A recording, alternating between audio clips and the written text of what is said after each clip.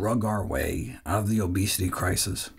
This 60 Minutes episode certainly seemed to suggest we could. Only later did we learn that 60 Minutes had been paid by the makers of Ozempic to air a 13-minute promotional segment and pass it off as a news story. Are these GLP-1 drugs the answer to the obesity epidemic? The head of the European Association for the Study of Obesity was pretty bullish, conveniently failing to disclose that his group had received millions of dollars from the drug maker. But doesn't getting a tiny weekly injection sound far easier than getting all sweaty in the gym? Do these game-changing new medications make lifestyle-based treatment of obesity obsolete? Let's ask those paid by the two main GLP-1 drug makers, which now have a combined net worth greater than a trillion dollars. The World Obesity Federation, which evidently just got a million dollars from the Ozempic company, published a consensus statement in one of its journals favoring the definition of obesity as a disease. This designation may not benefit patients, but it will benefit doctors and drug companies when health insurance and clinical guidelines promote treatment with drugs and surgery. A concern is that labeling obesity as a disease risks reducing our autonomy, disempowering and robbing us of the intrinsic motivation that's an important enabler of change. It encourages fatalism, promoting the fallacy that genetics are destiny. But of course, it can't be our genes. The obesity epidemic only started a few decades ago. Our genes didn't somehow magically change in the late 1970s. Others blame lack of willpower, but that doesn't make any sense either. All of us coincidentally lost our collective self-control? It's the food. The rise in the number of excess calories provided by the U.S. food supply is more than sufficient to explain the obesity epidemic. Obesity is not some moral failing. The battle of the bulge is a battle against biology. We're living in a toxic food environment, drowning in a sea of excess calories, being bombarded with ads for fast food and candy.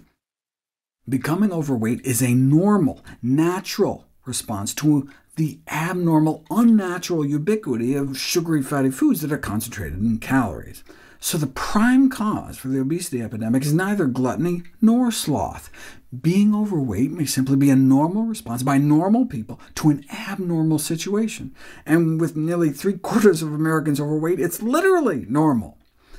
So if obesity is to be understood as normal physiology within a pathological environment, there is an argument that drugs like Ozempic really aren't tackling the root cause of obesity.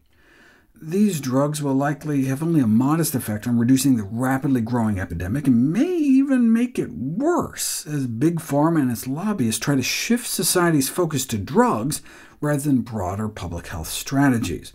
The real solution would involve fixing the food system, but why would big food change its ways if obesity can be treated with drugs?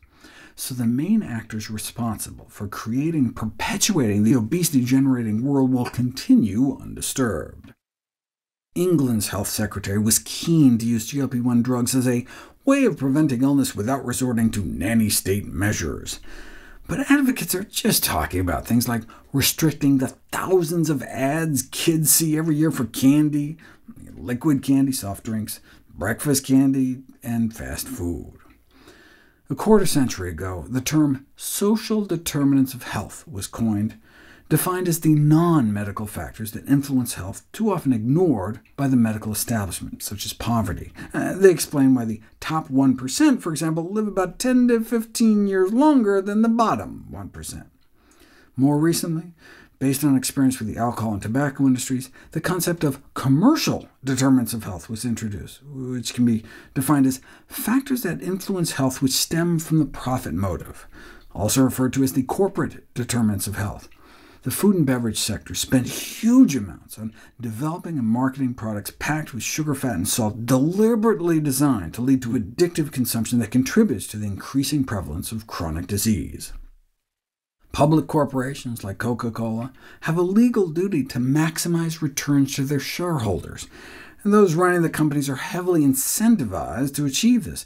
Many observers are outraged by stories of what some of these companies do to maximize returns, but as people working in the tobacco industry can testify, being the subject of widespread disrepute is more than offset by the financial rewards and psychological defense mechanisms can take care of any residual unease about contributing to the suffering death of fellow humans whom they do not personally know.